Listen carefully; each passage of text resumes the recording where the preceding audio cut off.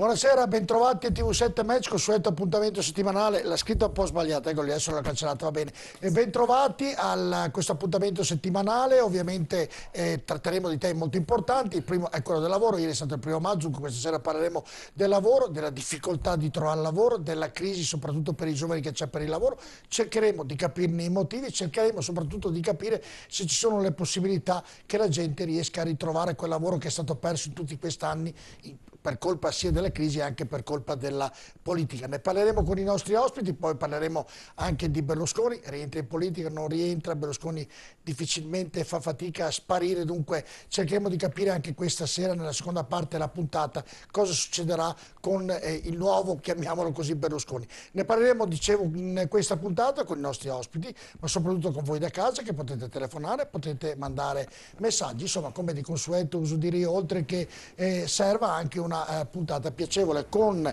inizio e saluto Nicola Rampazzo di Padova 2020, buonasera, buonasera. grazie di essere con noi, Enrico Cirigot, segretario confederale del CGL di Padova, buonasera. grazie, grazie a eh, Federico Bruson per, di Rifare Padova. Buonasera. Grazie a Batte Anna, candidata a Padova per il PD. Grazie al professor Manocasi, che lo vedo, eh. Adesso sta arrivando, è di là, eh, fra poco arriverà Massimiliano Barison di eh, Forza Italia. Saluto Daniela Ruffini, l'altra Padova, città in comune, candidata a sindaco di Padova. Buonasera Daniela. Buonasera. Arriverà a minuti anche Claudia Case di Padova 20 e 20 e saluto anche Roberto Graziano del Movimento 5 Stelle. Buonasera. Buonasera, Buonasera davvero a tutti. Allora avete sentito i temi, sono due. Il primo è quello più importante, il professor Manocasi, è quello del lavoro. Se la regia mi aiuta andiamo a vedere la prima grafica dove ci fa vedere soprattutto quante ore di, stra, eh, di cassa integrazione ci sono state a Padova e provincia parliamo in questo momento di Padova, poi vi daremo anche i dati nazionali, però nel momento andiamo a vedere su quelli di Padova un lavoro che è sempre più difficile a, a trovarsi. Guardate, ci sono stati 21 milioni di ore di cassa integrazione, praticamente è quasi l'8% in più rispetto al 2012, già il 2012 era un dato pauroso. Ma, eh, la, il primo problema è 21 milioni di ore di cassa integrazione pagati ma non utilizzati.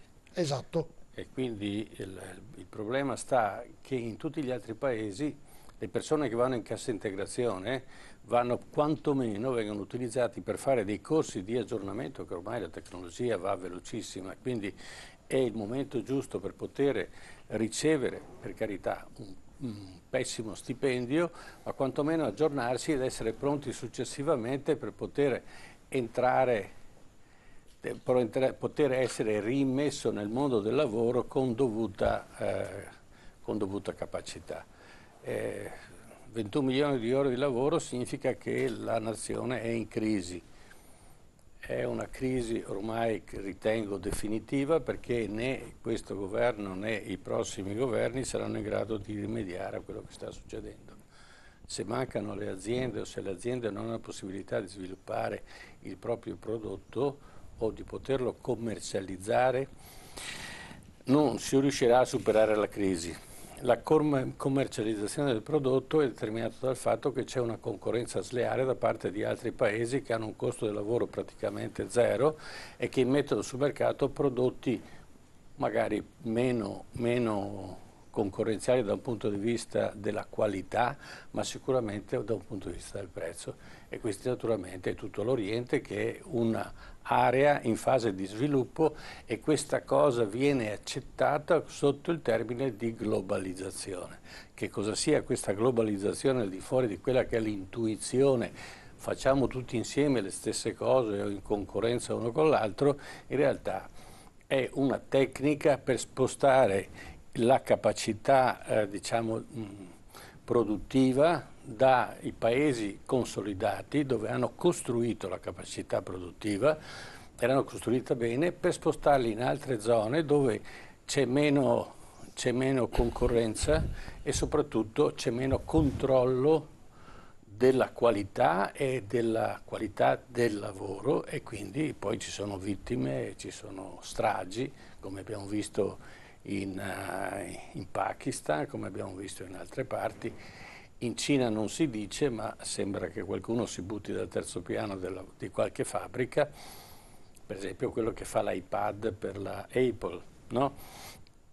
fabbriche che contano un milione di operai che lavorano da 12 a 16 ore al giorno e che ricevono 70-80 euro mediamente al mese, contributi compresi.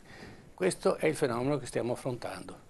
Quindi non possiamo nasconderci dietro la globalizzazione o dietro a una crisi che prima o dopo si risolverà. Questa crisi o va presa per tempo, con competenza, o non si risolverà da sola, anzi Ecco, professor Marcasi, quello sta dicendo lei, volevo chiedere un'altra cosa, aggiungerla. In America, in, proprio nell'ultima settimana, nell'ultimo mese, anzi, ha avuto un incremento di lavoro, hanno trovato occupazione eh, parecchi giovani. Questo vuol dire che eh, poi eh, a tempo debito eh, questo, questa occupazione che eh, ha avuto l'America si È può la riflettere... politica che sta facendo il presidente americano, quello di invertire la tendenza di portare le aziende verso la Cina o verso l'Oriente e invece fa, facendole restare in America e quindi aumentando il, quello che è il PIL, quello che è la capacità produttiva e quindi la, la eh, ricchezza del paese. La ricchezza del paese è fatta di denaro, il denaro è un'invenzione dell'uomo, poi l'invenzione delle invenzioni è l'euro, che è ancora più invenzione del denaro normale, che era legato alla base aurea. E quindi ci troviamo in una situazione che è incontrollabile perché non abbiamo gli strumenti per, per conteggiare quello che sta succedendo e chi li ha comunque non li dice. Certo, saluto Massimiliano Barizon di Forza Italia, buonasera, grazie di essere con noi. Allora chiedo alla regia se va a vedere il primo crawl così tanto per capire un attimino eh, di numeri, che eh, vi faccio vedere i numeri di Padova e la provincia di Padova, eh. così riusciamo anche a fare un ragionamento logico poi eh, con la CGL e con tutti gli ospiti questa sera, soprattutto anche in prospettiva di trovare il lavoro, che il lavoro ritorni, perché che ci sia crisi lo sappiamo ormai tutti, ne parlano tutti, ogni giorno ci sono notizie sempre allarmanti, però eh, come si fa a ritrovare questo lavoro? Parlano in tanti, però sta di fatto aumenta il dramma sociale della disoccupazione, andiamo pure su, e della mancanza di lavoro, con ben 39.000 padovane e padovani disoccupati rispetto ai 13.000 del 2007, con un tasso di disoccupazione che dal 3,2% per crisi ha raggiunto oggi l'8,7%, consegnando a Padova il primato negativo fra tutte le province del Veneto e con un tasso di disoccupazione giovanile che dall'11% per crisi è arrivato al 32,2% odierno. Daniela Rofini, vedo che fa così con la testa. Sì, sono dati drammatici questi. Sono dati che ci dicono che anche la nostra provincia è all'interno di questa crisi economica e sociale e purtroppo però questi dati si potevano evincere già dal 2008, insomma da quando poi sono state fatte alcune scelte che hanno ancora di più eh, portato il nostro paese nello stato in cui è oggi. Io però, prima di entrare nel merito dei dati padovani, volevo, mh, mm, come dire, riallacciarmi al discorso del professor Casen che ho trovato un po' contraddittorio perché lui giustamente ha parlato della globalizzazione e ha parlato di prodotti che non si controllano o che sono eh, diciamo di poco pregio di poca qualità e ha fatto però un esempio che mh, mm, non ha queste caratteristiche perché l'iPad della Apple non mi risulta essere un prodotto diciamo che eh, non ha eh, le caratteristiche o le qualità di un prodotto di qualità. Io penso invece che la globalizzazione, se non la mettiamo insieme al profitto, noi non riusciamo a spiegare come mai ci sono uh, queste discrasie così grandi tra i paesi emergenti e i paesi invece cosiddetti, insomma, l'Europa piuttosto che gli Stati Uniti. Guardate che uh, in Cina o nei paesi in via di sviluppo le persone hanno bisogno di lavorare, ma non sono mica gli imprenditori soltanto del luogo che fanno i prodotti a minor prezzo e poi li commercializzano che siano di qualità o meno nel mercato internazionale o mondiale. Ha fatto l'esempio del Pakistan, io mi ricordo la strage di un anno fa in Bangladesh, in, quella, in quel palazzo in cui morirono migliaia e migliaia di persone. E di, chi, di dove erano quegli imprenditori? Ci sono, ci sono delle vertenze sindacali che ci sono in piedi oggi in quei paesi che reclamano giustamente, giustamente una, un risarcimento per quei morti. E là parliamo di persone che vengono pagate 1, 2, 3, massimo 5, 5 dollari al giorno. E allora la globalizzazione non si spiega se noi non parliamo anche di profitto e il profitto, il profitto viene prima di tutto in una eh, società ormai dove tutto è possibile, tutto è liberalizzato, addirittura ci sono delle agenzie nel nostro paese che incentivano, incentivano il fatto che le aziende vadano via. In più c'è una tassazione oggi che è totalmente fuori controllo certo. e questa è colpa anche delle politiche che sono state fatte. C'è una tassazione nei confronti dei lavoratori che è enorme e anche di alcune fasce di eh, impresa che tu non puoi rendere omogenea. Le imprese non sono tutte uguali, non sono tutte uguali per grandezza, non sono tutte uguali per il prodotto che ti offrono, per la qualità del lavoro Rufini, che c'è dentro. Rufini, questa responsabilità della politica include anche, sì. include anche, il sindacato? Ma io, guardi, al sindacato... Perché se no lei ehm, pende solo da una parte. Io sono iscritta alla CGL, ho 42 anni, penso di essere iscritta da 30 anni più o meno, insomma, di essermi iscritta da giovanissima, ancora da precaria Italia, ho fatto anch'io tantissimi anni avrà un po' di responsabilità che il sindacato no, io, penso, io ai sindacati ehm, come dire ehm, ehm, dico che non, sono, non, non hanno eh, colto forse anche loro fino in fondo fino in fondo la prospettiva in cui si voleva portare questo paese e molto spesso, non tutti, non tutti molto spesso hanno eh, pensato che eh, ehm, chiedere di più, chiedere di più, sempre di più ai lavoratori avrebbe portato un miglioramento delle loro condizioni di vita. Questo non è così, ormai sono vent'anni che ce lo diciamo, I, gli stipendi dei lavoratori italiani sono tra i più bassi d'Europa, la, la, la domanda poi vengo Daniele perché abbiamo tanti... non ha portato Daniela, un posto di lavoro Daniela Ruffini, poi abbiamo tanti La domanda era, secondo lei, oltre agli imprenditori, oltre alla politica, il sindacato ha delle responsabilità in questa crisi Io oppure penso, no? no? nella crisi il sindacato no. non credo che nel abbia rapporto, la responsabilità. Scusi, nel rapporto, nel rapporto eh, lavoratori dipendenti ha delle responsabilità? Ma io penso che ce l'abbia soprattutto per quella parte di lavoro giovanile che è totalmente fuori da qualsiasi regola e eh, che molto spesso eh, si fa finta di essere un, fanno finta di essere lavoratori autonomi, pensiamo ai giovani con le partite IVA, eh, e che non sono tutelati da nessuno. Massimiliano Barisò. Ma, eh, da... Io vorrei che sì. poi da questa discussione eh, eh, voi, eh, visto che siete sì. nella politica eh, eh, al termine o a metà, quando volete voi, cosa decidete voi, so, avete qualche proposta per le, i, i, lavoratori per trovare lavoro, per come fare? Perché la gente si aspetta questo, perché ripeto, di lamentele le ha sentite tutti. Sì, allora ehm, è evidente che la crisi è una crisi che eh, deriva da tutta una serie di, eh, di problematiche che stiamo, che stiamo vivendo eh, e quindi mh, per affrontare questo tema bisogna dire che ci sono tutta una serie di fattori che hanno portato oh, alle difficoltà che oggi stiamo, stiamo, attraversando.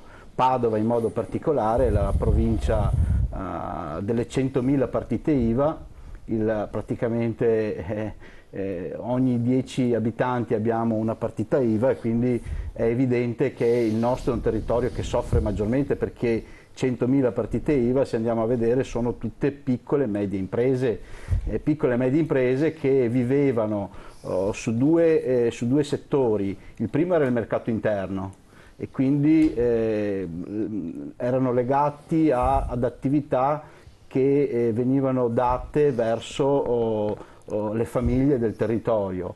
La seconda attività prevalente era, un'attività terziaria verso le grandi aziende, soprattutto oh, noi abbiamo un, un, forte collegamento con la Germania e eh, chiaramente da una parte la diminuzione della disponibilità economica delle famiglie ha contratto oh, la, la, la, la, quantità di lavoro nel, nel, nel territorio dall'altra la Germania nella crisi ha fatto un'azione di portare dentro quella che era la produzione che esternalizzava fuori e quindi ha messo in crisi tutta una serie eh, di aziende. Quindi è un territorio che soffre.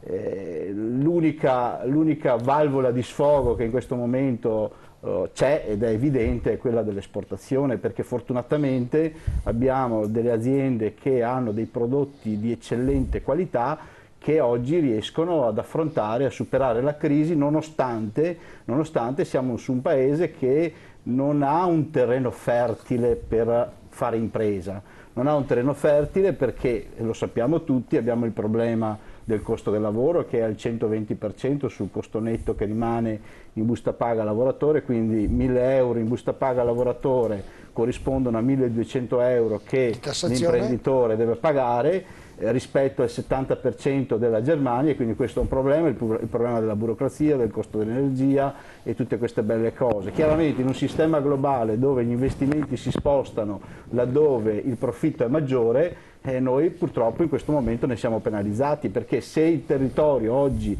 è in difficoltà nell'affrontare eh, il la produzione perché legata al mercato interno, l'unica alternativa che potremmo avere è quella di attrarre investimenti da fuori, ma gli investimenti non arrivano in Italia perché il profitto è basso e quindi si spostano in altre, certo. in altre parti del mondo.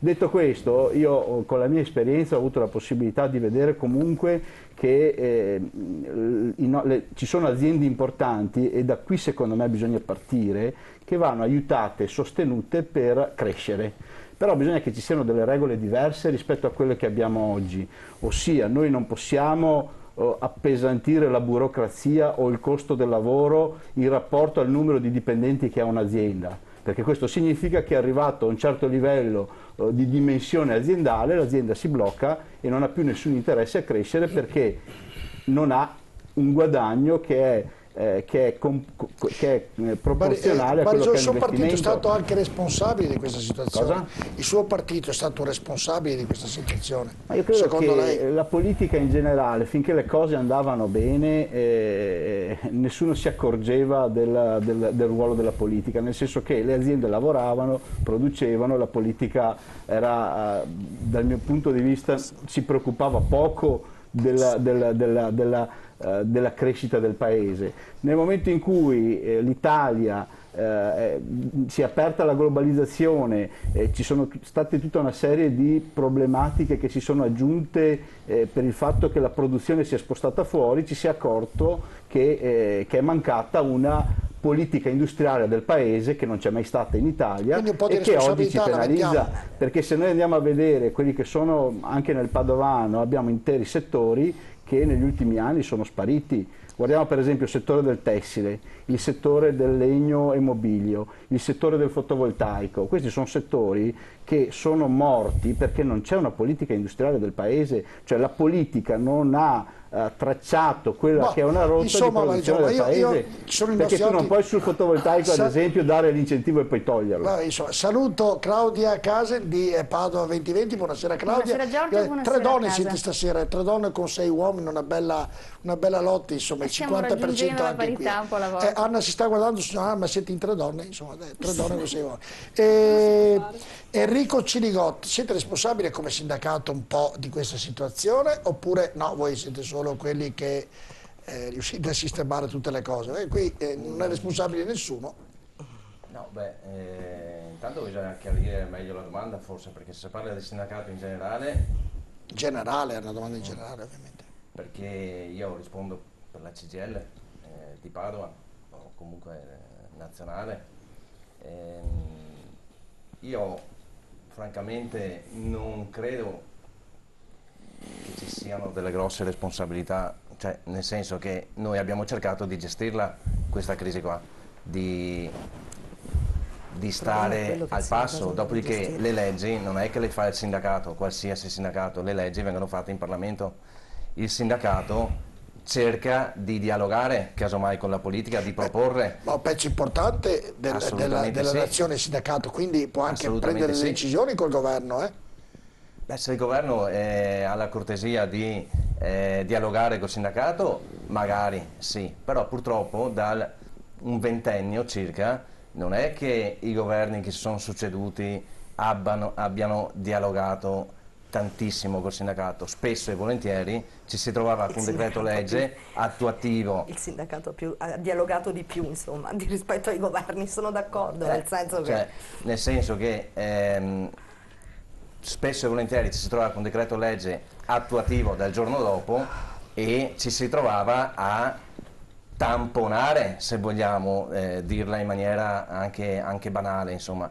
Per cui, vabbè, dopodiché qualche eh, magari forse qualche azione potevamo farla anche in maniera più incisiva, insomma, però come sindacato, parlo per la CGL, nei, almeno dal 2008 in poi credo abbiamo fatto sette scioperi generali a livello nazionale, una decina di scioperi a livello regionale, provinciali, manifestazioni, Eh, non è che lo quello sciopero- che riuscivamo sciopero- a fare e Eh, eh, proporre... lo sciopero non è che risolva tutti i No, problemi. assolutamente insomma, no, assolutamente no, però lo sciopero è l'estrema eh, razio per tentare di forzare anche alcune decisioni che a livello governativo vengono imposte spesso e volentieri.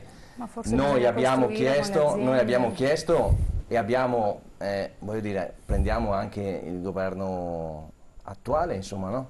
Cioè quando c'è un premier che dice eh, vabbè, noi eh, presentiamo la nostra riforma del mercato del lavoro, eh, diamo tempo un mese per eventuali controproposte, perché se siamo d'accordo, se siamo d'accordo bene, se no io applico quello che non è che sia tanto differente dai governi Il premio, precedenti. il eh. premio ha dato 80 euro in più a 10 milioni di lavoratori, insomma, Sì. se tanti Eh. dicono che non, sono, che non è vero, poi anche qui bisognerebbe entrare nel merito, Dopo voglio bisognerebbe sentire che il entrare vostro nel merito, pensiero. ma voglio dire, Sono per carità, 25.000 padovani. Non ho Sono capito. 25.000 padovani. Che hanno usufruito di questi 80 euro, che poi bisognerebbe andare a vedere se davvero arrivano gli 80 euro e dopo e soprattutto da Sì, dove arriveranno questi posso 80 euro. aggiungere una cosa a questa cosa qua? Perché, per carità, gli 80 euro sono buoni, non metto in discussione. Io vorrei, vorrei capire, eh, guardarle un po' più da distante alcune operazioni, no? Perché se contemporaneamente poi si, fa, si fanno delle eh, azioni di tagli o Di eh, di aumentare tasse O o comunque tasi. si va ad applicare ancora una volta, per l'ennesima volta, perché siamo, non è che sia cambiato tanto, no? quando si parla di pubblica amministrazione all'inizio si parlava ancora dei tagli lineari, dopodiché per fortuna, cosa di questi giorni qua, insomma non è così per fortuna, però vorrei capire dopo alla fine di tutto quanto mettere gli 80 euro insieme a altre azioni che farà il governo. Perché se poi a me danno 80 euro, ma per avere gli stessi servizi che avevo prima devo pagarne 120, a questo punto qua è meglio che non me li diano gli 80 euro. Non so se sono stato Li chiaro. avrebbe investiti no. in un'altra maniera. È meglio che te li diano gli 80 euro comunque, il Sì, problema ma che sono abbia gli stessi gli servizi di prima. Ma Il problema sono tutti gli altri, cioè- Claudia Castro. Il problema, infatti, questo è il infatti, problema, infatti, assolutamente, gli italiani quello che noi stiamo dicendo- vogliono. Quello che noi stiamo dicendo ormai da tanti anni è che in Italia si continua a fare delle leggi, si continua a fare delle leggi sul mercato del lavoro che però di fatto non creano lavoro, perché il problema sta L'hanno qua. diminuito. Ma non solo, noi parliamo L'hanno di diminuito. Allora, sì. dell'80% Non è forse oltre, Allora, allora, sociali allora partiamo, partiamo con la liberalizzazione del, eh, delle aperture domenicali. Fermo, per eh, un perché altrimenti ci ricorda, non Andiamo arriviamo, avanti. vediamo uno- un Eh, tema alla volta, ci perché altrimenti andiamo fare. Claudia Casi stava replicando a Dico quanto che forse i diceva. sindacati di fronte a un 80% forse oltre degli ammortizzatori sociali in Italia sono di tipo passivo e sono indispensabili anche quelli, eh. parliamo di cassa integrazione, di mobilità, cioè la, la persona sta a casa, ha un tot numero di mesi dove percepisce un eh, x per cento dello stipendio, spesso l'80%. Allora vediamo dei casi eclatanti come all'Italia dove ci troviamo piloti che prendevano 10.000 euro che per sette anni portano a casa l'80%. Io non ho visto i sindacati strapparsi i vestiti di fronte a cose de- del genere, ma parliamo anche di realtà vicentine, realtà aeree vicentine, la stessa cosa, invece di sette anni erano cinque anni. Parliamo di contratti che hanno diversi trattamenti, cioè chi nell'ambito commerciale ha un trattamento, chi in un altro ambito ha un altro trattamento, cioè uno ha X anni, l'altro magari ha 8 mesi. Allora i sindacati di fronte a una contrattualistica diversa, solo perché il lavoratore è diverso, magari un'azienda con meno di 15 dipendenti o più di 15 dipendenti ha meno mensilità. Ma parliamo di 7 anni, signori, in Alitalia, 7 anni, 10.000 euro vuol dire 8.000 euro al mese per 7 anni. Allora queste cose lei- non possono esistere. Finisco sul concetto sono- così poi mi risponde. Un secondo. Sì, solo. infatti. Fallo finire Mm, perché non ho vabbè. capito. Allora, e questa è la mobilità che fornisce lo Stato italiano. Se andiamo a vedere in Germania, questo è, è, quello che è il supporto di tipo passivo, cioè le tutele che giustamente lo Stato dà quando una persona rimane a casa. Primo punto, secondo me non dovrebbero esserci differenze tra un contratto e l'altro. Secondo punto, perché investiamo tanto nel supportare la persona che sta a casa e poco, niente investiamo nel reintegrarla? Se guardiamo in Germania è l'inverso, l'80% per il reinserimento, il 20% giustamente per supportare la famiglia che la persona che è a casa, ma noi non possiamo invertire i due fattori, perché cosa succede? Che la persona sta a casa e si crea un lavoro in nero, si crea una, un disadattato, non si reinserirà mai più una persona che rimane anni a casa. Allora l'investimento deve essere fatto per reinserirlo, addirittura se l'azienda chiude ed è in difficoltà, la persona in Germania cosa succede? Sono pochissime le persone che stanno a casa, ma questi sono dati che fornisce la provincia di Padova alla mano, dati proprio su carta, li possiamo commentare domani. Allora cosa succede? C'è un preavviso di sei mesi, l'azienda si rivolge allo Stato, lo Stato prende in consegna la persona e gli trova un lavoro nell'arco di quei sei mesi, spesso anche prima, e viene reinserito. E questo è un guadagno per lo Stato, per, prima di tutto per lo Stato Posso? e poi per la persona a livello certo. sociale è fondamentale, perché noi oggi abbiamo persone a casa, abbiamo famiglie distrutte perché ci sono i genitori a casa e, e qual è, cioè, è un danno sociale enorme. Sì, ma forse la differenza intanto tra la Germania e l'Italia... Daniele Ruffini, facciamo parlare tutti così sentiamo sì, la risposta. Però ci su dico... questo è importante perché certo. altrimenti si fa un, certo. un calderone. Tanto in Germania c'è il reddito minimo di cittadinanza che è un ammortizzatore sociale uguale per tutti e poi quello che dice lei si applica a seconda dell'azienda e a seconda del livello di formazione del lavoratore che in, che in, quel momento si trova ad affrontare. La legislazione tedesca sul lavoro la conosco abbastanza. Secondo punto, quindi non solo la Germania investe sulla formazione, ma c'è anche Perfetto, un livello ben, uguale venga, per tutti che è il livello che è, che è, il reddito minimo di cittadinanza che nel nostro paese non c'è. Ma certo. c'è un'altra cosa anche in Germania perché chi viene formato per trovare un lavoro significa che il lavoro c'è. Quello che manca al nostro paese, perché la Germania in questi anni ha investito in ricerca, in innovazione, ha mantenuto le sue aziende certo. lì e ha fatto certo. anche altre cose sul mercato del lavoro, ad esempio parlare, la riduzione, ad esempio la riduzione dell'orario di lavoro che nessuno Ci più ricorda la risposta eh, ha portato anche all'estero qualche azienda Ruffini non le ha sì, tenute sì, tutte lì certo, vorrei, certo, vorrei spiegare certo. in tempi non sospetti qual era la, il rapporto per esempio nella Fiat il rapporto della cassa integrazione la Fiat otteneva la cassa integrazione tre mesi sì e tre mesi no e allora cosa faceva? faceva un'iperproduzione in quei mesi mm metteva in cassa integrazione gli operai e incominciava a vendere, continuava a vendere le macchine. Così alla fine dell'anno aveva pagato il 50% degli stipendi, esatto. gli altri avevano pagato la cassa integrazione e gli operai erano con una, uno stipendio eh, molto basso. Questi sono i giochini. In Germania, ma non perché io apprezzo i tedeschi, è tutt'altro, ma quando una cosa viene fatta bene bisogna darne atto, e il consiglio d'amministrazione il 50% della Volkswagen è del sindacato. Il... I fondi pensione sono investiti dentro la Volkswagen. Certo, perché c'è ma, la, ma, la previdenza complementare dei ma lavoratori Marchione ha fatto, Marchione ha fatto la stessa cosa. No, io no, io i miei, i miei fondi me li tengo Perfetto, ma bene, ognuno sceglierà. Eh, infatti in Italia è così. Per, per rilanciare la, la Chrysler e Marchione ha utilizzato i fondi pensione degli operai certo. e ha rilanciato veramente la Chrysler. Adesso devono tutelarsi, chiaramente non è che si può dare così a, a, a, piene mani la piena fiducia. Bisogna controllarlo, ma i sindacati devono stare dentro l'azienda, noi dalla, fuori dalla porta. A me spaventa un, uno sciopero e il fatto che il sindacato dice siamo arrivati a fare lo sciopero generale vuol dire che si sono impiccati da soli e stanno impiccando l'Italia. Questa è una logica che andava bene negli anni 50, quando c'era una mentalità diversa e c'era un'economia che stava crescendo e andava bene così. Il sindacato non è che sta sbagliando, deve aggiornarsi. La, si è trasformato il mondo. Se io vado in banca e voglio, non questa perché non abbiamo frequenze in altri posti, ma se voglio prendere questa azienda e portarla in Romania, vado in banca e mi danno tutti i consigli di questo mondo. Anche, ma una banca anche se normale. vai in regione glieli danno. Perché, Sì, ma, ma, cioè fanno, in regione ma non solo, mi finanziano anche per andare via. È vero, allora c'è qualcosa, e allora c'è qualcosa che non funziona in questa, È vero. in questa cosa. Allora abbiamo dei sindacati e dei partiti che ci raccontano una cosa e invece abbiamo una situazione che è completamente diversa. Allora io la, la- la funzione di queste trasmissioni, scusate, le facciamo per far capire alla gente come sta girando il mondo.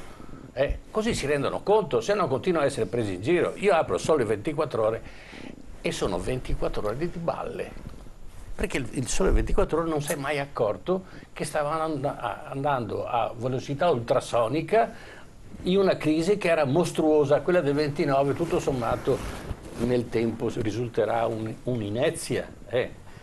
salvo che non vogliano trasformare questa crisi in un rilancio attraverso una guerra, ma Speriamo, di no. speriamo di no.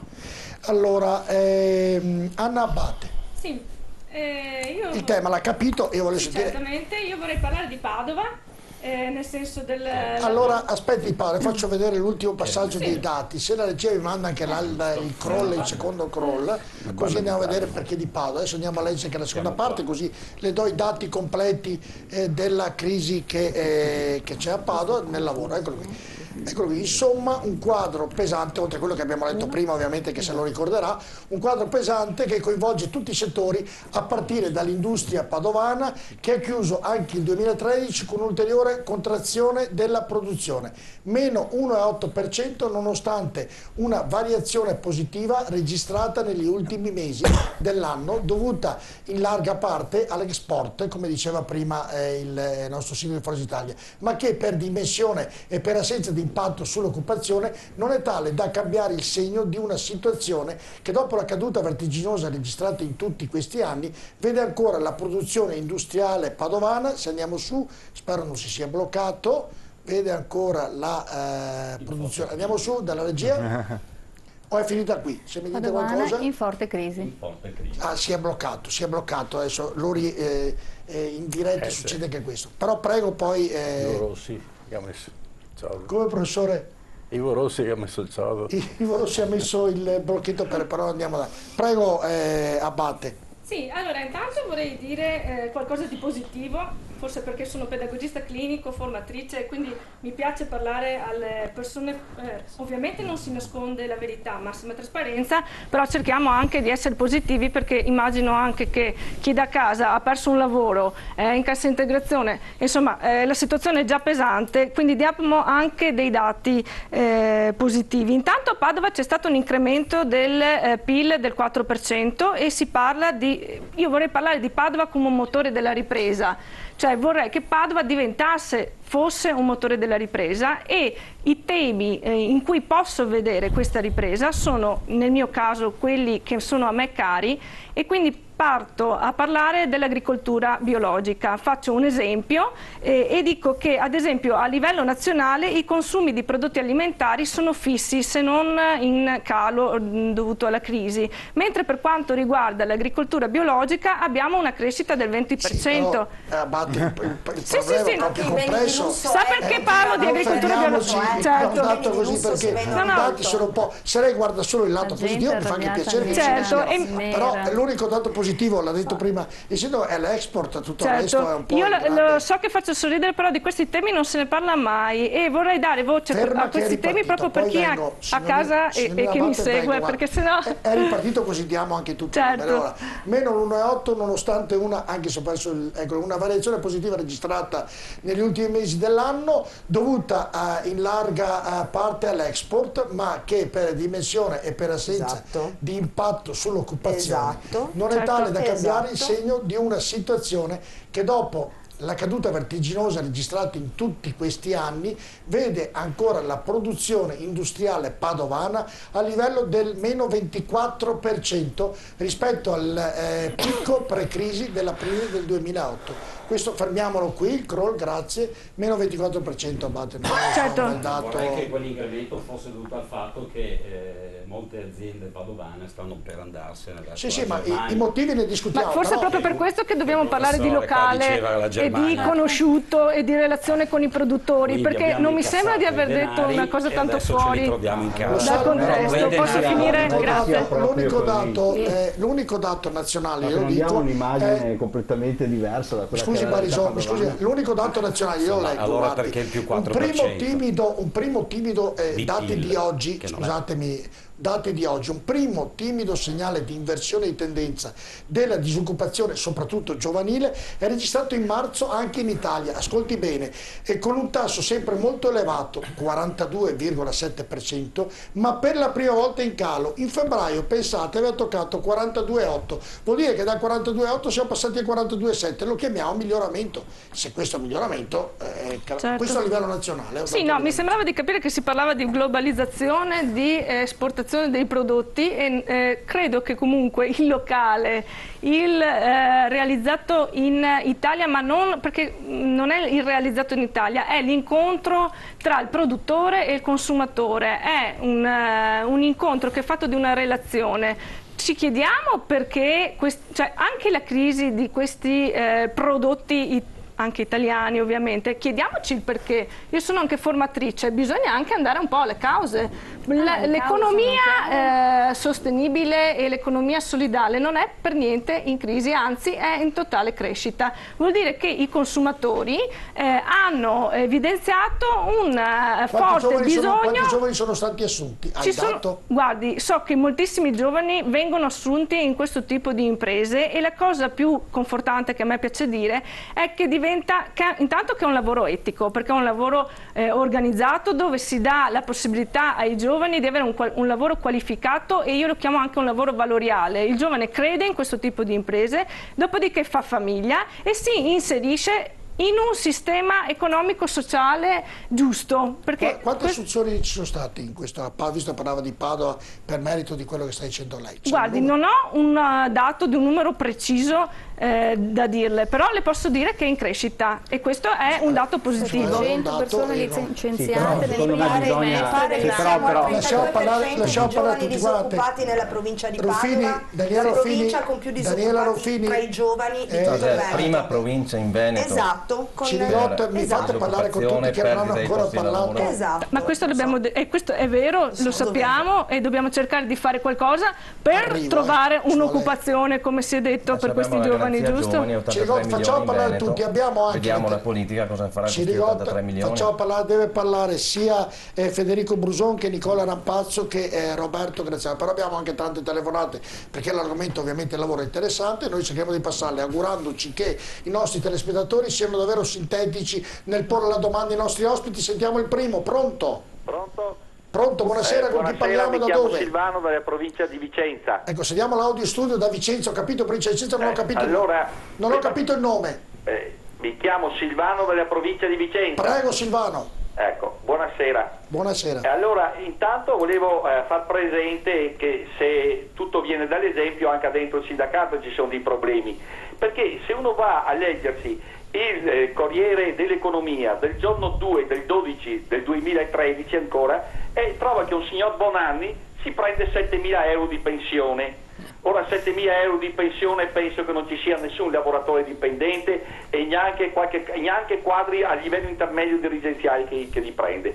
Poi nel, nella trasmissione da Gabbia verso le ore 22.30, 20, 22 e 20 di domenica, è venuto fuori che le organizzazioni sindacali incarnano qualcosa come un miliardo e sei tra tessere e patronati.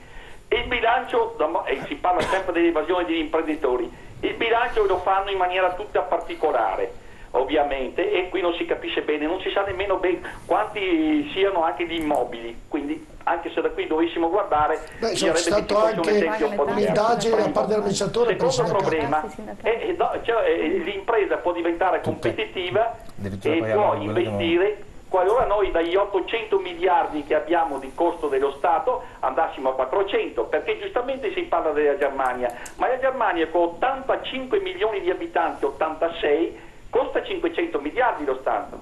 Allora il nostro Stato dovrebbe costare 400. Questa è la cifra grosso modo. Certo. Eh, mi dite voi come si fa a sostenere questo paese in queste condizioni? Questo paese è destinato nel giro di poco tempo a fare la fine di Argentina, perché lasciamo perdere i titoli che- di Stato, che lì ci sono tutti i trucchi finanziari che è difficile adesso sta qui spiegare, ma un titolo da farlo andare dal 5 al 6% eh, ba- basta solo di spostamenti a livello finanziario. La borsa è come una Certo, eh, è stato molto chiaro. che andare al casino. È stato Punto. chiaro, Lì grazie, poi- sa poi- manovrare il casino riesce a fare dei miracoli. Certo, poi ma non ha nulla a che vedere con l'economia reale. Grazie. Allora, qui, questi due problemi, soprattutto di tagliare 400 miliardi di la- L'ha detto, è stato Stato, molto chiaro, poi le risponde, poi le risponde il sindacato io- dove vanno quei soldi il sindacato. Grazie della telefonata, sentiamo un'altra. Pronto? Buonasera, con chi parliamo?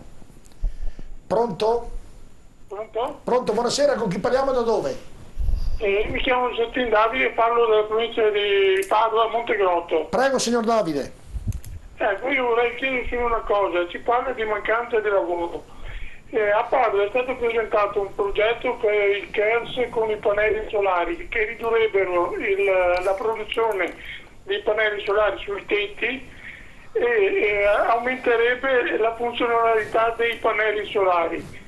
Perché la- le- la- il nostro pre- diciamo, sindaco Zanonato, che poi è diventato ministro dello sviluppo, non ha portato avanti questo progetto con la provincia di Padova e ha fatto diventare funzionale questo progetto affinché i costi del montaggio dei pannelli sui tetti delle case si, si riduressero con eh, l'inserimento del CAS nel sistema che avrebbe aumentato la funzionalità e anche la produzione di Poi, guardi, poi ci risponderà e eh, allo stesso Abate che... momento Certamente.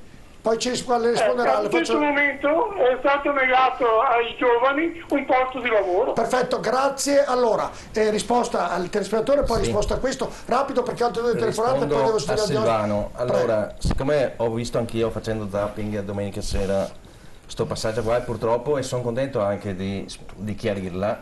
Allora, eh, il miliardo a cui faceva riferimento la trasmissione sono entrate che arrivano per rimborsi che fa il servizio eh, fiscale, il CAF, e il patronato, che svolgono servizi al posto dello Stato. Il problema in Italia è che se continua a tagliare sempre sul pubblico e poi abbiamo i patronati alla mattina che fanno i servizi che dovrebbe fare il servizio pubblico, l'Inps, va bene, ma che non è più in grado di farlo, non perché, ma perché hanno tagliato. Qua a Certo. Padova 40 persone, 7.000 e 7.000 40 persone in meno all'Inps di Padova, quindi qualcuno le pratiche di disoccupazione, di maternità, di legge 104 deve farle, le fa il sindacato gratuitamente anche ai non iscritti.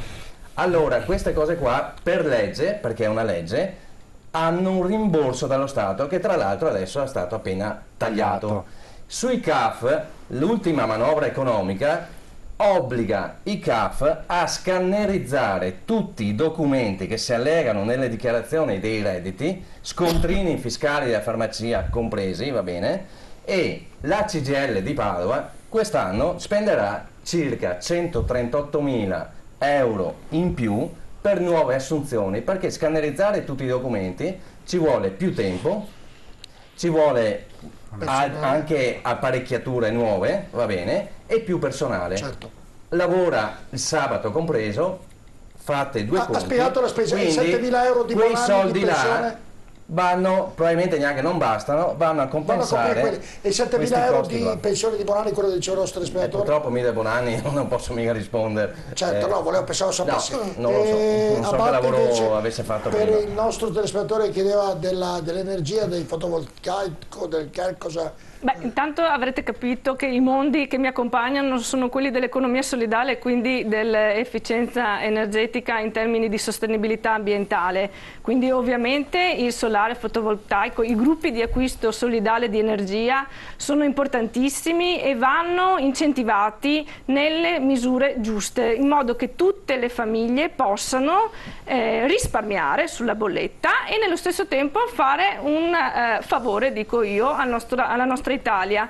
Eh, in Italia non c'è sufficiente investimento nelle energie alternative, che non significa solo solare, e bisogna iniziare a maturare questa coscienza ecologica, direi. Federico, eh, Federico sento, bisognerà, bisognerà iniziare, eh, andiamo sul pratico, cioè la gente, ripeto la domanda, alla monotonia quasi, cioè la gente vuole trovare lavoro, dovete trovare, voi siete giovani, rampanti della politica, volete intervenire, eh, eh, però bisogna che date delle, eh, sì. delle idee, dei progetti, certo. dei programmi alla gente che è senza lavoro, soprattutto ai giovani. Insomma. Certo, mm, beh, io sono candidato in comune a Padova, il comune sapete bene che non ha una, eh, una vera e propria materia nel quale il comune può decidere le materie specifiche del lavoro. Però eh, noi Ivo, possiamo... Rossi, Ivo Rossi ha detto che nei prossimi 5 anni troverà 5.000 posti di lavoro. Ecco, 5.000 i 5 anni l'ha detto, eh, io dico. 5.000 posti di lavoro si possono trovare creando un comune attrattivo, attrattivo di investimenti avendo delle idee. Noi ad esempio come prima cosa che abbiamo messo nel programma elettorale è la questione dell'utilizzo degli spazi per il co-working. Il co-working è l'utilizzo attraverso delle associazioni che creano incubazione di lavoro ad esempio un giovane che oggi vuole aprirsi una partita IVA come prima spesa iniziale è quella di avere un ufficio. Ecco, con tutti gli spazi comunali che ha il Comune di Padova a disposizione, avere un ufficio insieme con altri lavoratori è una cosa che si, si fa già ma non è conosciuta, lo fanno delle associazioni che non sono conosciute e che non, creano, e che non hanno una rete all'interno del Comune perché il Comune non promuove queste attività. Il co-working è, è, la prima cosa. No, la, la, no, mm, allora, la mela di Newton, sono, la mela di Newton sono molto contenta a sentire del, del, collega che parla di co-working perché è importante. Eh, ecco, il, co la Mela è sicuramente importante. è una delle, prime, delle associazioni che lo fa e eh, questa è una cosa bellissima. Insomma, Però non è una cosa che perché. molti sanno non, e non sanno qual è la potenzialità di aprire un ufficio avendo costi ridotti perché si ha a disposizione una segreteria insieme con altri, avere a disposizione ad esempio l'avvocato per eh, aprire le, le pratiche oppure il commercialista insieme. È mancanza di comunicazione o perché eh, l'interlocutore non, non, si forma? No, no, è la, no, no è, la, eh, è la mancanza di comunicazione perché oggi si dice creiamo 5.000 posti di lavoro e non si dice perché e come. Noi diciamo il comune di Padova deve creare delle aspettative nei confronti degli imprenditori e di chi vuole produrre nella città di Padova. Quindi noi diciamo prima di tutto una riduzione della COSAP per fare attività eh, commerciali anche per breve periodo, quindi per quanto riguarda il turismo, i mercatini, sì, queste cose qui. È rapida questa idea? È una, è una cosa rapida perché si tratta di una materia prettamente comunale. Noi riduciamo le tasse per chi vuole creare attività economiche itineranti dentro il comune. Riduciamo le tasse e vediamo se riusciamo a essere attrattivi. Oppure lo riduciamo, come certo. diceva la collega che parlava prima di, di agricoltura, di agricoltura. L'agricoltura a Padova paga IMU come gli altri comuni della città. Allora noi diciamo l'agricoltura a Padova può pagare meno tasse perché se vogliamo cambiare anche le tipologie di reddito, di produzione, Claudio, proponiamo l'agricoltura. Ma lo so l'impressione che io ho è che prima delle campagne elettorali si parla, si parla così tanto da ascoltatore, no, no, poi beh. quando eh, si va ad amministrare una città importante come Padova diventa tutto più complicato. Però ma so la questione perché... degli spazi è fondamentale. Sì, sì, certo, L'utilizzo certo. degli spazi è quello no, che no, è, la leva del comune. È, Gli spazi pubblici sono tantissimi. È importante, ma sai cosa è fondamentale? Che non ci sono soldi, perché il lavoro No, no, ma ci sono gli spazi. Ascoltami, non ci sono soldi. Se uno va in banca, non ha finanziamenti, chi ha i soldi li tiene fermi perché ha paura e per cui non li utilizza, appunto, non ci sono soldi. Tu dici che il comune non può fare niente? Ti rispondo no, così. Padova 2020 è l'unico mov movimento che ha inserito nel suo programma la moneta complementare. Cosa vuol dire? No, no, mi Parolona. dispiace, non è vero non è vero che è l'unico benissimo benissimo l'importante bravissima vado no, avanti no. perfetto la diciamo moneta complementare la, perfetto. La moneta complementare è indispensabile farla partire ma può iniziare da appena Padova 2020 vincerà le elezioni sì. come mm. una moneta complementare dove il comune di Padova garantisce le persone fisiche le partite IVA e le società che possono acquisire che cosa? un credito cioè liquidità parliamo di strutture Ma Claudia esistenti a livello nazionale. fa- un 40 esempio, un esempio faccio un pratico, esempio. no? Un'azienda Oggi entra in un circuito di Padova questo 2020 tipo. vince le elezioni. Perfetto. Cosa succede? Io ho bisogno di soldi. Succede Facciamo- che tu ad esempio Giorgio hai un'azienda, entri in un circuito, bisogna scegliere quale circuito. Eh, attraverso i buoni. No, non attraverso i buoni, finisco. Ricevi un finanziamento pari a 40.000 euro se sei un SPA ad esempio, o pari a 20.000 euro se sei un SRL. Ma perché lo ricevi? Perché tu sei un'azienda garantita dal comune dal comune che ha dei beni a magazzino quante aziende in Veneto hanno i magazzini pieni di beni Devo avere un non capitale, li- insomma, devo non avere- un capitale No, devono no, avere no, devo- no, no un no capitale- no No, no. no non è così. Questo è un mercato che esiste o lo conoscete o non lo conoscete. Allora un'azienda chiede di entrare in questo circuito e dà un credito di anche 40.000 euro 40.000 euro. Che può spendere? sempre- no può utilizzarli in qualsiasi cosa può pagare le bollette può comprare scarpe potrà spenderli anche in un supermercato se vuole. Questi finanziamenti vengono dati anche alle persone fisiche in proporzione ovviamente. Cosa può fare il comune? Può fare da garante per le aziende in questo senso il comune se entra nel, nel circuito cosa succede? Che le aziende pagano le tasse al comune in crediti, in euro crediti, in Padova crediti, in quello che si chiameranno, non usando gli euro. Gli euro li tieni Sì, ma in devono tasca. aderire tutti perché succeda questo No, no, No, no, esistono possono- già aziende possono- del genere con migliaia di aziende esiste in all'interno, comune, guardiamoci esiste a attorno. Roma una cosa Ma del genere figurati, ed allora è fatta a faccio- livello posso locale finire, Giorgio, un secondo? Noi abbiamo per quartieri No, no, no, no, eh, ognuno c'entra ciò che niente, non hai capito niente. Lo facciamo. Faccio un esempio Claudia, allora concreto. facciamo così, lo spieghiamo ancora meglio. Ancora meglio. eh, perché no, soprattutto che per Faccio un esempio concreto, io ho un'azienda, questa azienda ha rifatto tutto l'impianto di riscaldamento e di condizionamento in crediti, non ha tirato fuori un euro e ha detto io posso dare questo servizio, benissimo, quando il circuito mi trova dei clienti e prendono questo servizio io glielo darò e ripagherò quello che ho preso. Parliamo di centinaia di migliaia di euro che un'azienda può Ma investire chi se è dà questi credibile. crediti all'azienda?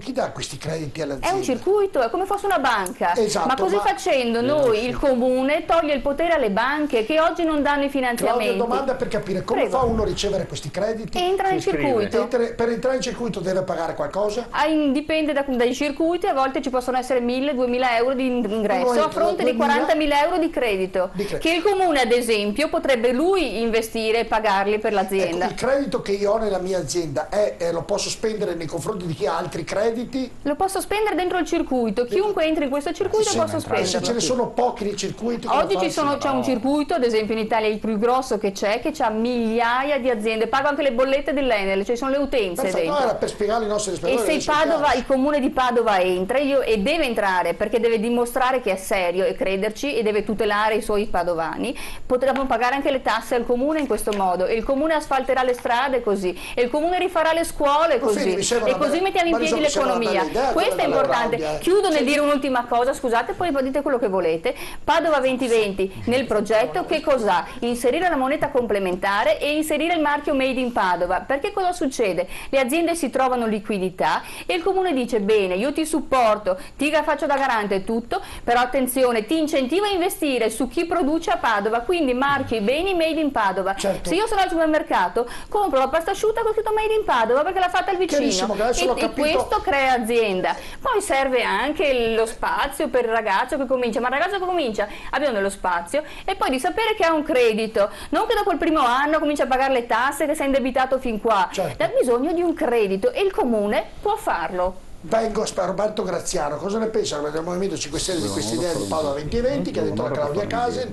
e se è una cosa che anche è nei vostri pensieri di fare una seconda moneta con i crediti in questo caso per una città come Padova per iniziare a, a risvoltare l'economia, a far riprendere l'economia più che risvoltare. Ma guardi, in linea teorica ci può trovare anche abbastanza, diciamo così, vicini, nel senso che comunque abbiamo capito che i profitti ormai sono destrutturati, cioè vale a dire che non sono legati al prodotto che tu stai vendendo, ma tutta una serie di sequenze che vanno in giro per il mondo e che tornano aumentati in una certa percentuale. Quindi fondamentalmente che il reddito non sia più legato a un prodotto che stiamo facendo e quindi che cada dentro la trappola anche il nostro eh, dipendente che perde il lavoro, questo è evidente, l'abbiamo visto dalle analisi e le analisi sono, sono queste.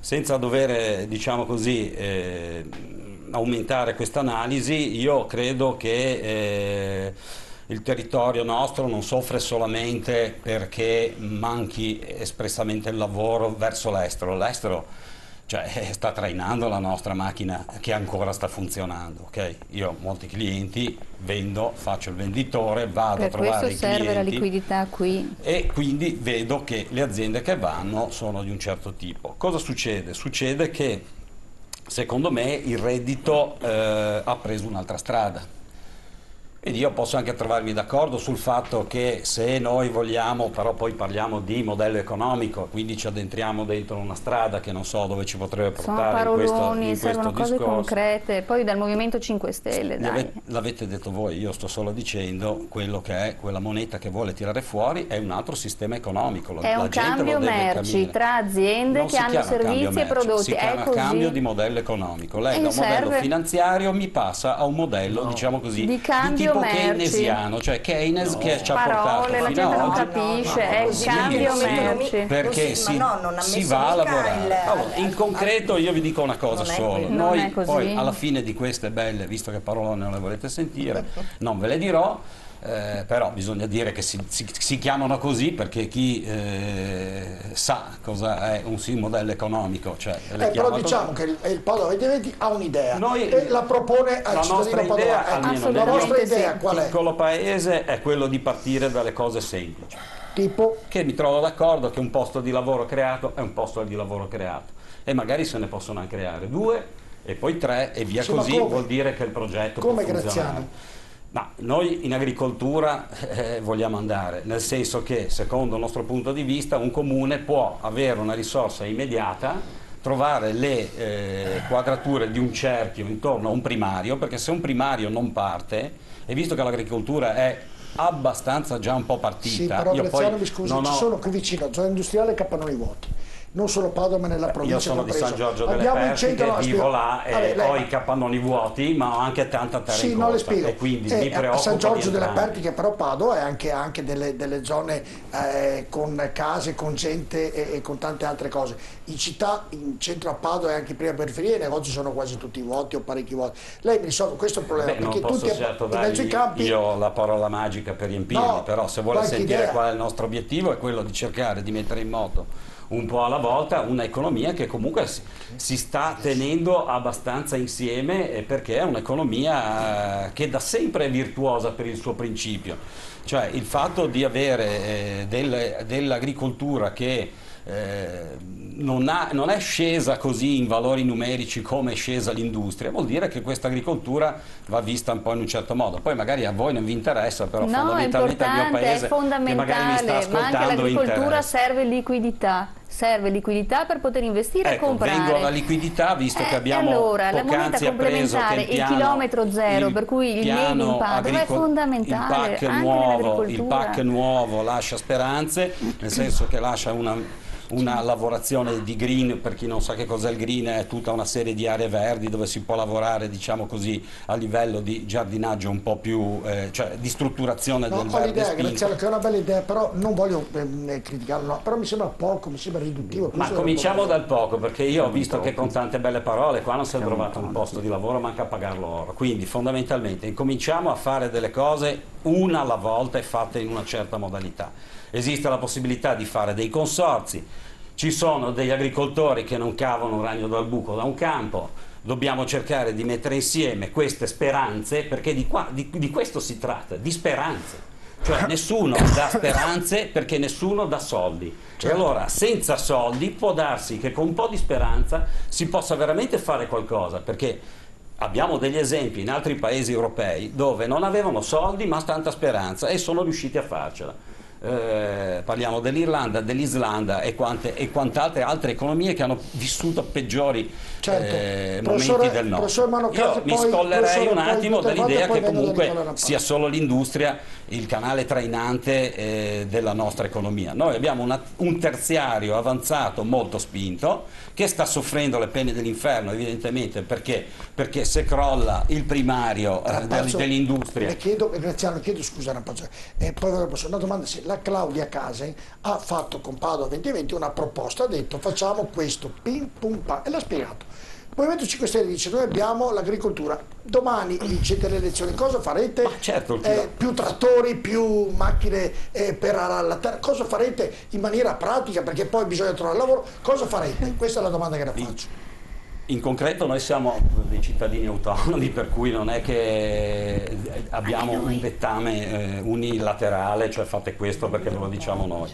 Diciamo che il nostro gruppo ha messo insieme, attraverso delle eh, serate tematiche, un'idea di poter costruire eh, un nuovo impianto eh, di agricoltura che è completamente diverso da quello del seminario e le grandi, Che le- secondo le lei è grandi semine l'inizio, di grano. l'inizio di riprendi, far riprendere economia. Sì, soprattutto partendo dalle eh, tipologie di, Professore Mano Calza. di specie Allora, tutti nostre. conoscono- Mano Calza. Tutti conoscono la- il modello keynesiano, nessuno conosce il modello Schracht.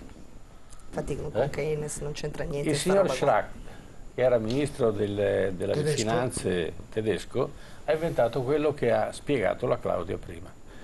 Il modello che Claudia ha spiegato prima funziona perfettamente in Svizzera, quindi non possiamo pensare che sia una bubola, è una cosa estremamente normale.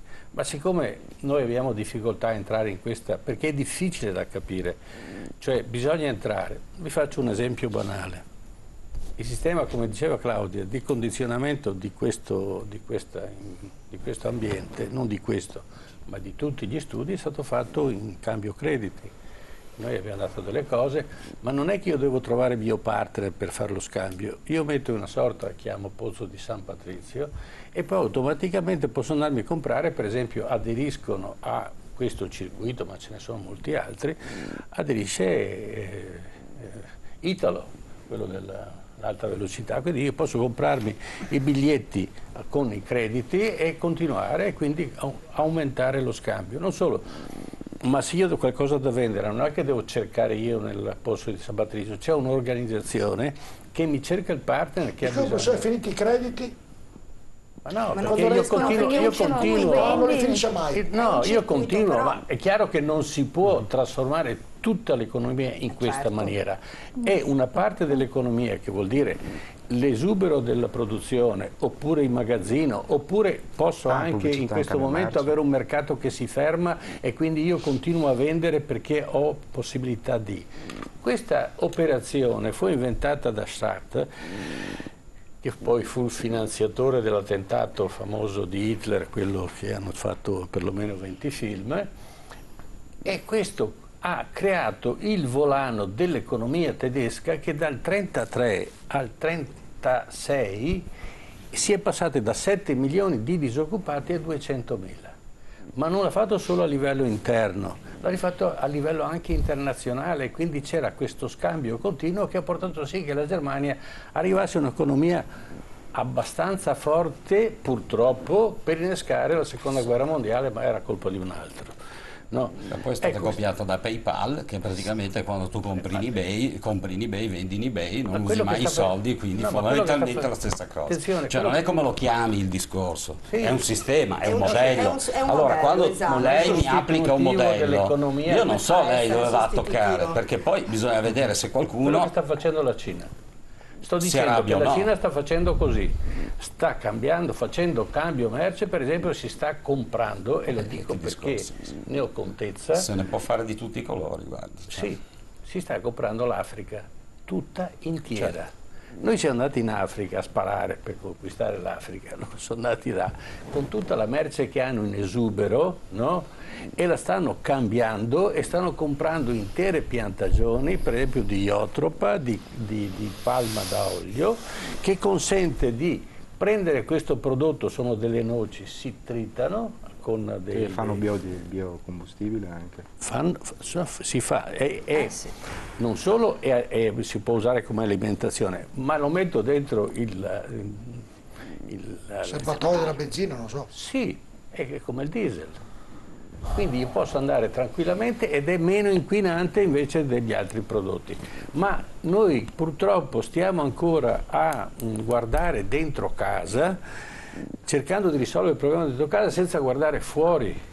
e vedere quello che sta succedendo e stanno succedendo delle cose impressionanti fuori e noi siamo qui che cerchiamo di risolvere dei paura, problemi può esserci un po' di che paura. è positivo gli 8-80 euro al mese sono positivi ma non creano economia creano uno sbalzo economico che con una compensazione ma non sufficiente per avviare bisogna creare delle altre strutture economiche e questo sta naturalmente alla politica a trovarle ma soprattutto c'è una cosa che io dissi ancora cinque anni fa prima della crisi e ebbo da discutere anche col generale Ramponi. Dicevo vanno messe le regole. Abbiamo fatto una, una moneta senza regole e un'Europa senza regole la Merkel se n'è accorta perché i cinesi stanno importando pannelli solari a un decimo di quello che vendono i tedeschi, che producono i tedeschi. No? Ecco. Allora, se questa operazione di apertura delle frontiere andava tarata gradualmente, non avremmo trovato questo sbalzo nel, nel avere la, una capacità, una liquidità notevole da parte nostra e un basso costo e una concorrenza leale da parte delle altre aziende. Telefonate, sentiamole se ci sono ancora, perché i poverini è un pezzettino che sono lì, sentiamola prima, pronto. Buonasera, con chi parliamo da dove? Se c'è, pronto. Pronto? Buonasera, con chi parliamo da dove? Sì, buonasera, ehm, sono Ernesto da Pordenone. Prego E Alberto. Stavo seguendo qui la vostra trasmissione e siete bravi perché ehm, giustamente eh, evi- evidenziate questo grosso problema. Però il, il problema no, è cioè, tutto quello che stiamo discutendo, che stiamo discutendo sono solo dei contorni, dei, tagli- dei tagliativi, perché quanto, quanto costa un dipendente in Italia? Costa circa 2.500 euro, 1.200, 1.200 di paga, 1.200 di tasse. Pertanto che adesso il nostro Presidente del Consiglio tolga il Senato, tolga le province, tolga i subespecchi, che è giusto toglierli, no? non suggerischiamo. A quanto arriveremo? Arriveremo a 2.000, a 1.500, a 1.100. Però luglio dell'anno scorso si è incendiato quello stabilimento del Bangladesh che produce vestiti per una casa italiana, vengono pagati 30 euro al mese. Qui nel vicino est, Slovenia, Croazia, Serbia, vengono pagati 330, 300 euro al mese. È ovvio che io come imprenditore chiudo lo stabilimento qui e lo delocalizzo, hanno inventato un in quei paesi. È ovvio che, che- che porterò fuori. Quindi qui blocchiamo tutto, blocchiamo la produzione interna, blocchiamo le- i consumi, blocchiamo tutto. Perché il motivo è solo perché nel 2004 la CE purtroppo ha voluto togliere i dazi. I dazi sono leve indispensabili a bilanciare i mercati perché ogni nazione ha un suo tenore di vita. L'Italia il tenore medio di vita è di 1000 euro al mese, in Slovenia è di 200-250, in Cina è di 78, cioè ogni Stato i dazi erano delle leve per bilanciarli. Vogliamo capirlo o no che dobbiamo rimettere i dazi, dobbiamo ripartire così? Perché se rimettiamo questi Dopo la si risposta- potrà salvaguardare il lavoro qui. Perfetto. Altrimenti cosa? Una volta una sedia prodotta in Italia costava 50 euro, in Cina costava 10 euro, ci mettevano 40 euro di dazio e arrivavano su 2,50. A questo punto quale compro? Come quelle italiane mantengo il lavoro qua. Perfetto, grazie. Questa Io- è la io- loro. io- E un'altra cavolata che siamo andati a inventarci è l'invenzione della CE, dell'Europa Unita. Noi vediamo che 100 km più a est di noi c'era la Jugoslavia, un grande Stato. Adesso è Serbia, Slovenia, Croazia, Montenegro, Spagna. 100 km più là c'era la Cecoslovacchia, un altro grande Stato. Adesso è Ceco e Certo, Slovacchia. essendo 100 km più là c'era l'Unione Sovietica, un impero, seconda potenza mondiale, bla bla bla bla. Adesso è Russia. Perché si sono disfatti? Perché questi agglomerati di stati non funzionano. E ora visto che questi agglomerati di stati non funzionano, noi siamo andati a fare un agglomerato di stati con banche diverse, regole diverse, stipendi diversi. Cioè quando c'erano le lire, l'operaio di prima o seconda Che ci ha categoria di dato la pace per e di- 50 e di anni, di va Milano, bene, prendevano lo stesso stipendio per pace, Torino, di Bari, di Napoli. E le regole erano uniche. Grazie. È, sta- è stato chiaro. Di di Grazie, di di la di passo perché altrimenti lei non si ferma più, è partito, non- il nostro telespettatore di Pordenone che lo ringraziamo della telefonata non lo fermiamo più. Sono d'accordo anch'io con i dazi, però dico anche, poi c'era eh, Rampazzo che deve parlare, che c'è anche un problema. Il Made in Italy lo, lo scartate tutti, ma è importantissimo e non lo sfruttiamo come Certo, dovrebbe essere certo. sfruttato. Sentiamo un'altra telefonata, se c'è ancora pronto. Pronto? Pronto? Buonasera, con chi parliamo da dove? Sì, buonasera, sono Carlo, chiamo da Padova. Carlo un po' più, più sintetico del nostro telespettatore precedente, eh? prego. Televisore. Prego, c'è Carlo? Sì, sì, certo, non, ho- non ci sono problemi. Volevo fare una domanda alla signora Quale? Mi mette l'ansia Carlo, ne ho tre signore. La signora del PD, la signora del PD è, è Abate Anna. Eccola, adesso la La, inquadriamo la, la signora Anna che ha parlato dell'agricoltura biologica, Certo, no? la domanda Carlo. Oh, vedi che interessa. Allora, volevo, volevo chiedere alla signora eh, questo. I- noi abbiamo un problema a Padova, che l'inquinamento a Padova è talmente importante che para- è paragonabile alla città più inquinata in assoluto in Italia. No? Lei mi viene a parlare di agricoltura biologica quando noi invece abbiamo un grosso problema di inquinamento. Io non sento nessuno di parlare di ambiente, non sento nessuno parlare di inquinamento e però i dati che noi abbiamo e sono dati dell'Università di Padova dicono che in Italia si muore si muore di, eh, di- di inquinamento come la le morti eh, de- degli incidenti stradali, no? Quindi io vorrei capire, ma perché andiamo in cerca dell'agricoltura biologica che un pomodoro costa 8 euro al chilo e la gente muore di fame? Io vorrei che la, la nostra agricoltura fosse agricoltura del popolo, che sia a disposizione di tutti e che tutti possano avere quello che hanno bisogno. L'agricoltura biologica non esiste, dovete mettervela via. Viviamo in un ambiente talmente inquinato che l'agricoltura biologica non esiste. Perfetto, non s'arrabbi, non banchi Carlo. del- Carlo, non andare s'arrabbi. al mercato a Padova a prendersi la frutta normale venderla per biologica. L'abbia- abbiamo sentito, grazie, grazie Carlo, se vuole rispondere rapidamente Abate poi vado da eh, Nicola Rampazzo che deve ancora parlare, se vuole rispondere al nostro telespettatore Sì, no, volentieri, mi dispiace che eh, allora il- forse c'è un po' un eh, bisogna sapere de- determinate cose che nell'agricoltura allora sono d'accordo con il signore che dobbiamo migliorare la qualità dell'aria, questo è uno sforzo che parte dalla cittadinanza, perché si sa che la qualità dell'aria è così perché in effetti c'è eh, un poco uso del mezzo pubblico e un eccessivo uso del proprio mezzo. Questo è un dato che è inutile nascondersi dietro questa cosa perché quando si parla di polveri sottili, di inquinamento, si parla di quello. Aspetti solo, solo un secondo, ma proprio velocissimamente perché se non parlo un attimo dell'agricoltura biologica, certo, ma do una risposta alla persona che ha telefonato.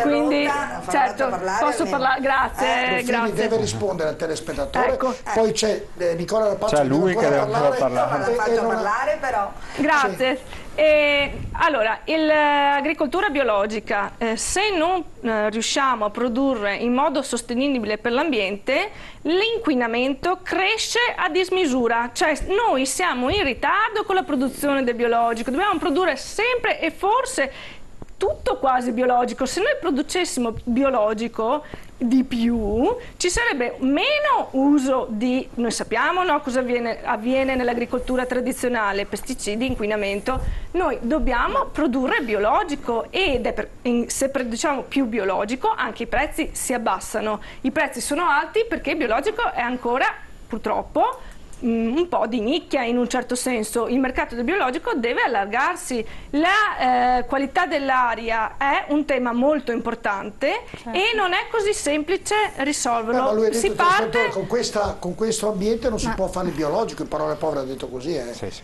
Telespettatore ha detto Che? con questo ambiente non si può fare il biologico, perché non si può, ha detto. Beh, se mai si inizia, detto così eh, telespettatore. certamente. inquinare a partire dal Se comune. l- l'inquinamento va, eh, è- cioè, non dobbiamo cercare di inquinare meno. Noi italiani stiamo inquinando troppo perché non abbiamo una coscienza ecologica alla base nei State la comportamenti di di ognuno di fa. noi e si parla di pazienza. cittadinanza attiva in questo Nicola senso. Rampazzo, troviamo un posto di lavoro a questa gente che non l'ha perché qui altrimenti divaghiamo, divaghiamo, parliamo tutti bene, bene, però eh, quella gente a casa che non ha il lavoro, quei ragazzi giovani soprattutto, eh, sono lì che ci mandano a quel paese non trovando il posto di lavoro. eh. Beh, più che mandarci a quel paese, probabilmente vanno in un altro paese. Esattamente, visto in un altro che paese, abbiamo, abbiamo dei, dei dati sull'emigrazione, dei, dei, dei cambi di residenza dei cittadini padovani che sono impressionanti, sono 20.000 emigrati negli ultimi tre anni. Questo vuol dire, e oltretutto sono quasi sempre eh, immigrazioni, adesso sempre meno, ma immigrazioni di persone che hanno studiato eh, e che hanno quindi e che hanno lavori altamente qualificati, solitamente. Lavori altamente qualificati che non riescono a trovare qui. Cioè è evidente che in un momento in cui abbiamo sentito, letto un, dato una lettura della situazione molto, molto complessa abbiamo tantissimi pezzi di un mosaico. Io penso che più che una crisi questa sembra una depressione economica, cioè sta cambiando il modello di sviluppo. Eh, più che il 29 sembra a me eh, il 1873 quando cambia, arriva un'altra rivoluzione industriale ed è arrivata. Io faccio molta fatica a stare dietro ai ragionamenti che non prevedono questa cosa qui. Cioè stiamo producendo in maniera diversa, stiamo conoscendo in maniera diversa, eh, stiamo vivendo in una maniera radicalmente diversa da prima e dobbiamo iniziare a capire che quello che è stato prima non sarà più. Quei 39.000 posti di lavoro che, che, abbiamo perso in questa provincia non ritorneranno come erano prima, saranno, li, li, ricostruiremo su filiere di nuova economia e dobbiamo sapere di cosa stiamo parlando, non possiamo avere solamente un pezzettino. Io sono, guardi, una partita IVA, quindi sono, so perfettamente di cosa stiamo parlando, sono giovane, ho fatto università negli anni in cui è stata distrutta, quindi ho perfettamente presente di cosa stiamo parlando. Non basta, guarda, eh, conosco benissimo anche i ragazzi della, del Dico Più, quindi eh, che hanno aperto un coworking in mezzo a mille fatiche, cioè ci hanno messo, me lo ricordo perché ne parlavamo, ci hanno messo anni per avere accesso a quel posto lì. Allora io non capisco perché, per esempio, ma è una banalità, ma perché al centro culturale San Gaetano non ci debba essere un coworking aperto a tutti, anche perché un lavoratore autonomo che va in giro per le città a, a, a clienti a due ore di buco, in questa città non riesce neanche a connettersi con il suo computer e lavorare perché questo è il fatto, sta saltando anche la divisione tra lavoro e, e, formazione, è per questo che dobbiamo investire in formazione, perché dobbiamo costruire un sistema di formazione continua. Allora, noi abbiamo una grandissima fortuna in questa città, abbiamo la fortuna che abbiamo un'università, un'università una delle migliori d'Italia e abbiamo, in questi anni abbiamo fatto pochissimo eh, e secondo me anche molto male, per trattenere le persone, per trattenere i talenti in questa, in questa città.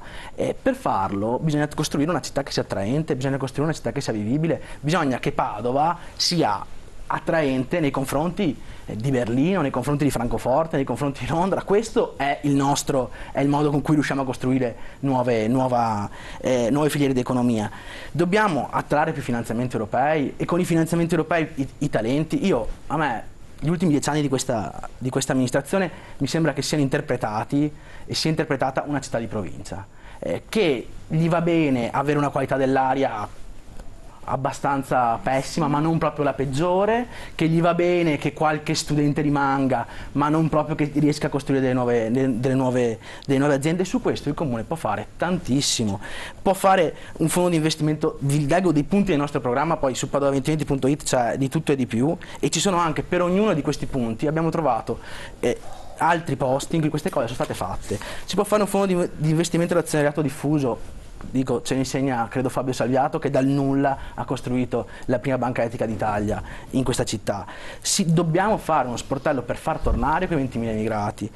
Dobbiamo e possiamo, noi abbiamo già parlato con manager eh, o in pensione o che, sono, o che, sono, disoccupati, che si offrirebbero per fare un'unità di progetto comunale per Va aiutare allo sviluppo delle nuove eh, imprese. Rampazzo, al di là che parliamo di lavoro, domani Padova 2020, come dicevo prima la Claudia, vince e cosa fa? Domani Padova 2020. La prima cosa per far riprendere, non dico in un giorno, però rapidamente l'economia padovana.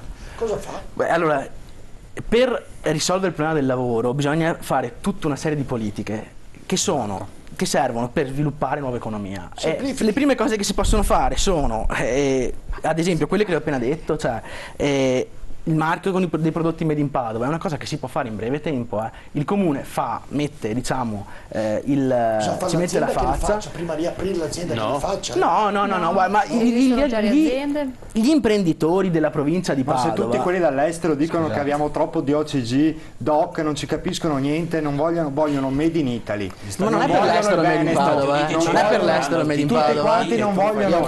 Allora, tutte le, le aziende. Allora, io capisco che noi stiamo parlando qua a Padova Padova 2020 sta... Fini, no, Padova 2020 ho parlato per mezz'ora dentro questa trasmissione perché abbiamo due ospiti Io di Padova 2020 quarto, contro, contro... siamo a casa loro dai. siamo a casa loro vabbè rispetto alla casa agli siamo altri allora posso andarmene anche via. però non possiamo dire che il Made in Padova è una cosa sensata perché tutti dall'estero non sanno cos'è ma non è all'estero che va il Made in Padova. Io cittadino padovano voglio decidere di potermi comprare le merci che vengono prodotte nel mio territorio. Scusate posso bene. una cosa da non candidato. Allora, le scarpe fatte a Padova le compriamo solo pa- i padovani.